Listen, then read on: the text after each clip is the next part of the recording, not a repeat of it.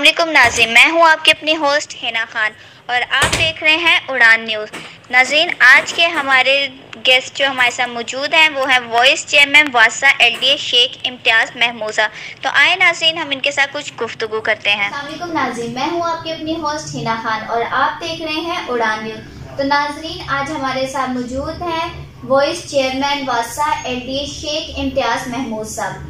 तो आए आज जो हमारे साथ बड़ा अफसोस अफसोसनाक वाक्य सानिया वट हुआ है उनके बारे में कुछ पूछते हैं उनसे।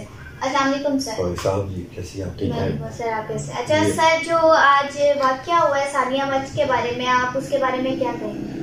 बहुत अफसोसनाक वाक्य है दिल हिला देने वाला वाक्य है और इसके बारे में जितनी भी मजम्मत की जाए कम है। आ, हम एज ए मुस्लिम जो है ख़ास तौर पे पाकिस्तान हम एक फ़िरका वारिया से बिल्कुल बाहर निकल चुके हुए हैं। अब ये हमारा, हम एक मुसलमान हैं और हम शीशा पिलाई हुई दीवार के साथ दीवार पिलाई हुई दीवार की तरह हम इकट्ठे हैं।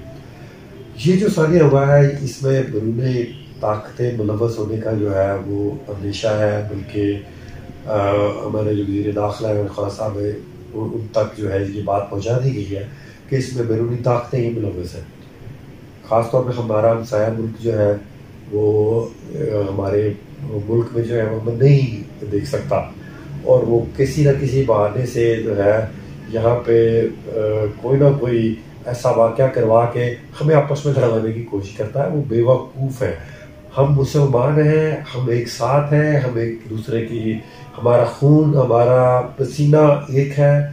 आ, हम एक दूसरे के साथ मोहब्बत करते हैं। ये आपकी बुजदिलाना हरकतें जो हैं ये, भारत की, ये इनशाला इनशाला इनशाला हम इनको जो है एक एक जो हमारा हज़ारा बरदरी का बंदा है, जो शहीद हुआ है, उसका हम सबक सिखाएँगे इन इनकी जो कोई भी हरकत जो है, वो बाज नहीं आते।